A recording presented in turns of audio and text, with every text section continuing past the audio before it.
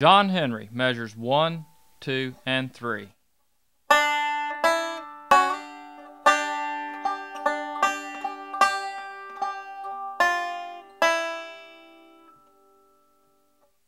Measures 4 and 5.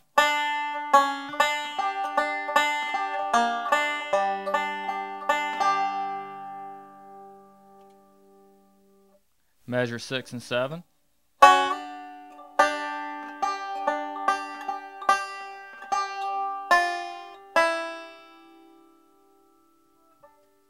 Measures 8 and 9.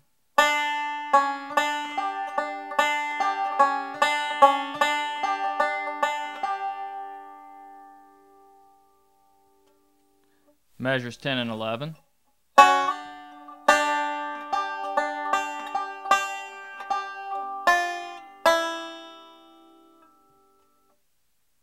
Measures 12 and 13.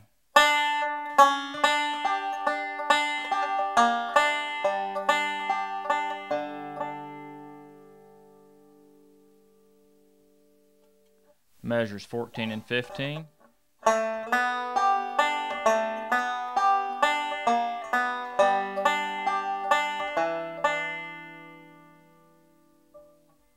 Measure 16 and 17.